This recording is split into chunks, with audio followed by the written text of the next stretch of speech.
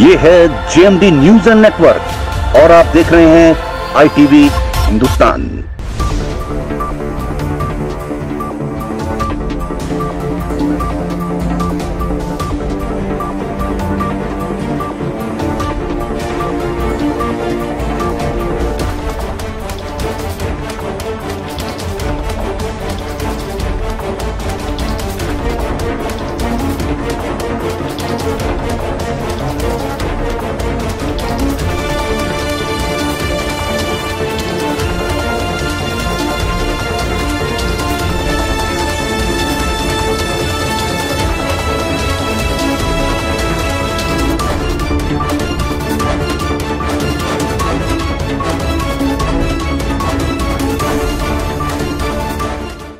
जो प्रमुख बिंदु हमारे हैं, उसमें पहला तो उत्तराखंड के लिए चार धाम विकास योजना का उसका विस्तारण है, जिसमें चार धाम को विकास करने के साथ साथ हम वहाँ पे रोज़गार परक चीज़ें भी देंगे, ताकि लोग रुके।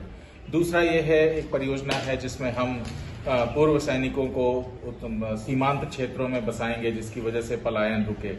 इसके अलावा जो प्रमुख बिंदु है उसमें किसानों को 8000 की एक मुफ़्त राशि प्लस केंद्र सरकार की 6000 की सहायता के साथ साथ 6000 की अन्य राशि भी हम प्रदान करेंगे ताकि किसानों को जो जनरल उनके काम होते हैं कृषि संबंधित उसमें आसानी हो। देखिए जहाँ तक कांग्रेस और भाजपा के सरकारों की बात है तो वो तो एक- दोनों एक दूसरे पे अक्षमता का आरोप लगा के आती हैं और फिर खुद भी कुछ नहीं करती इक्कीस साल इसका गवाह। हमारी बात जहाँ तक है दो प्रमुख मुद्दे जो उत्तरांचल में हैं आज के दिन, पलायन और रोज़गार। हम उस पर काम करेंगे। ये है जेएमडी न्यूज़ एंड नेटवर्क और आप देख रहे हैं आईटीवी हिंदुस्तान